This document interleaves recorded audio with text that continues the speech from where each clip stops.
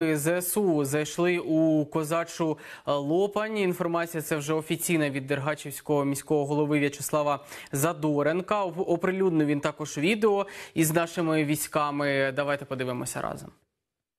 Сьогодні 11 вересня ми знаходимося у нашому рідному селищі Казача Лопань. Ось як місцеві мешканці зустрічають наших захисників. Я так люблю. Героям слава! Казача є і була, і буде Україна. Ніякого руського міра тут не буде. Вон, можете бачити, де ганчір'я руського міра валяється. Слава Україні, слава ЗСУ. Інформація для підняття настрою і, звичайно ж, приємна. До речі, козача Лопань це е, зовсім неподалік від кордону з Російською Федерацією, буквально 5-3 кілометри, якщо мені не зраджує пам'ять. Е, Тим часом пропаганда російська продовжує працювати, і вже є чергові заяви. Не Україна, а плем'я, що воює. Посол квазі-республіки ЛНР Родіон Мірошник прокинувся у світі, в якому сусідньої держави, де триває так звана спецоперація, просто немає. Мовляв, замість країни там організація західних країн, озброєних і налаштованих проти Москви. Послухаємо фрагмент. Украина сегодня это не Украина. Украины нет. Она ее системно уже пере- переобувают, ее системно переделывают. То есть это просто воюющее племя, которое обувают, одевают, финансируют, учат и отправляют на убой. И ими будут манипулировать. Слушайте, на Украине сейчас уже, вот уже видео огромное количество ходит. Слушайте, в рядах украинцев англоговорящих уже «мама, не горюй». То есть, а украинцам очень важно говорить по-английски, потому что напрямую нужно с кураторами общаться. То есть уже рост, уровень лингвистических познаний просто растет катастрофически. Потому что надо с натовцами говорить на их языке. Они уже опускаются, там, не знаю, там, до, до уровня взвода. Они взводом уже командуют, а раздавая команды. Знаєте, до повномасштабного вторгнення, можливо, б ця пропаганда здавалася б якоюсь більш реалістичною, логічнішою чи що. А, а зараз говорити про озброєне плем'я, при цьому російські військові накив, на- накивують п'ятами з Харківщини і Донеччини. А, наскільки підставні події заяви? Ну, звичайно, не безпідставні, тому що Україна є е, світ визнаною світом державою, державою, яка власне підтримується дійсно західним світом, е, який прийнято вважати ну найбільш прогресивним і цивілізованим. Ну якби а що їм залишається говорити, розумієте? Тому що е, від самого початку вони ж не назвали це війною з державою. Це так звана спеціальна військова операція. І від самого початку вони говорили про те, що вони фактично воюють не з Україною як державою, а з блоком НАТО всім. Ну, якби і сьогодні, просто коли мова йде про те, що вони зазнають поразок, їм потрібно е, ну по суті, це ж нічого нового не вносить да, в їхній же дискурс. Вони самі собі нагадують про те, що власне е, вони воюють не лише з Україною, ну і частково вони в чомусь тут праві, звичайно, тому що в нас союзники власне і зброєю, і інформацією, розвідданими. Це дуже серйозні і важливі речі в плані війни, тому що так можливо, е, якщо брати чисто українську армію по техніці, по відповідно різним засобам, ми поступалися росіянам, тому що армію особливо не будували і е, відповідно вважали, що в 21 столітті повном- повномасштабна війна неможлива. Е, Але е, власне те, що ми користуємося підтримкою відповідно ем, заходу, то ну вибачте, нехай вони пригадають там 40-ві роки, там 41-го року е, ленд-ліз е, від Сполучених Штатів, Радянський Союз, е, Росія, власне, з якою його е, асоціюють, отримували там десятками тисяч танків, літаків, відповідно продуктів харчування, набоїв, автомобілів і так далі. Тобто, чомусь тут от не виникає жодної думки про те, що це якби нормальна ситуація, і що у війні відповідно більш, скажімо так, великої держави з точки зору її розмірів і економіки, і так далі, з меншою останньої можуть з'явитися союзники, які також е, свій вклад в перемогу е, нашу внесуть. Ну якби. Е, навіть для них самих, якби я не бачу логіки, і ну чим типу вони обурюються. Ми не ведемо сьогодні воєнних дій на території Російської Федерації і не збиралися ніколи цього робити.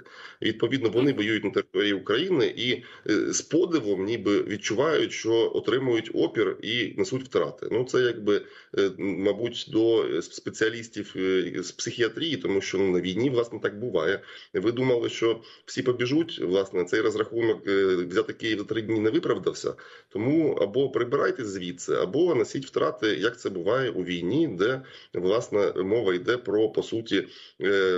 Ситуацію існування в принципі держави і е, відповідно е, українського народу, тому що ця війна з точки зору України є дійсно екзистенційною, тому що в Росії, там десь в Москві, взагалі ніхто не відчуває майже, що ідуть якісь бойові дії масштабні. А ми всі відчуваємо власне і на власні очі бачили і ракетні удари, і по столиці, і по майже всім е, містам, які існують великим України. Тому тому ну це ще раз демонструє просто одну просту річ, що Російська Федерація і російська влада в принципі не пояснила ніяк навіть своїм громадянам і відповідно представникам так званих ДНР ЛНР, за що відбувається е, те, що відбувається, за що ги- гинуть власне в тому числі і російські солдати.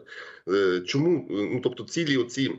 Так звані щодо денацифікації і демілітаризації, вони настільки якби абстрактні і ні про що, що е, це породжує от такі такого плану намагання пошуку логіки. Да? Чому, чому це відбувається і чому вони про- програють на сьогоднішній день? Ну і через контрнаступ окупанти відклали псевдореферендуми і забрали політтехнологів з Херсонщини, Харківщини та Запоріжжя. Пише про це е, Медуза, яка посилається на два джерела близькі до Кремля. Я так розумію, що на тлі неспокійному для російського окупанта думати про референдум. До речі, в день е, так званий єдиний день голосування в Російській Федерації, який припав саме сьогодні, ну вже не доводиться. Ну, справа в тому, що питання референдуму ми розуміємо, що е, законним чином його провести неможливо, як з точки зору законів України, так і з точки зору, що не дивно, е, законів Російської Федерації. І тому е, інструмент референдуму це по суті такий, ну скажімо так, лякалка в тому плані, що якщо буде прийнято рішення юридично оформлене про включення відповідних територій е, до складу Росії, то е, це е, відповідно закриє питання з приводу перемовин і з приводу того, що навіть під певні умови російські війська залишать ці території. Але ми бачимо, що не складається. І власне, якщо вони захочуть, за великим рахунком, вони можуть завтра, хоч відповідно оголосити про те, що референдуми були проведені, і що там 104% проголосувало за так, як їм потрібно відповідно.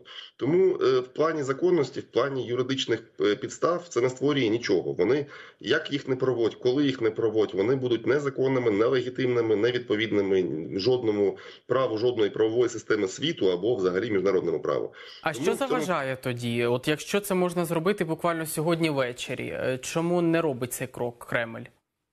Тому що вони розраховують все-таки на швидкі перемовини, і заяви з приводу перемовин вони лунають останній тиждень. Власне, ще до початку контрнаступу е, і Лавров, і Путін говорили про те, що власне е, треба і що Москва готова відповідно сідати за стіл перемовин, але е, предметом цих перемовин мало б бути виконання певних вимог з боку України. Ми, звичайно, як випливає з заяв наших лідерів, не готові в принципі вести пер- переговори про будь-що, крім як про вивід російських військ. Тому сьогодні, власне, думаю, що вони розраховують от саме на таку е, дипломатичний на дипломатичний фронт, і певні такі дзвіночки насправді треба також справедливості заради існують, тому що от. е, Цього тижня також Путін говорив про те, що він може вийти з зернової угоди, тому що е, санкції продовжують свою дію, і російське добрива та зерно е, продовжують якби мати перешкоди щодо свого свого постачання на ринки. І е, цього ж тижня відповідно державний департамент Сполучених Штатів е, е, надав вказівку своїм посольствам, зокрема, щоб вони моніторили ситуацію і не допускали накладення санкцій відповідно по питанням експорту відповідно російського зерна і добрив. Тобто, ймовірно, певні рухи також існують, про які ми не знаємо в плані перемовин кулуарних Сполучених Штатів і Росії. Але знову таки, чи можна реалізувати будь-яку домовленість без відповідно нашої участі і нашої доброї волі? Думаю, відповідь очевидна: е, це неможливо, тому що власне. Українська е, держава, і згідно до нашої конституції, президент чи будь-хто інший, він в принципі не може ставити питання про, наприклад, е, ну, порушення нашої територіальної цілісності.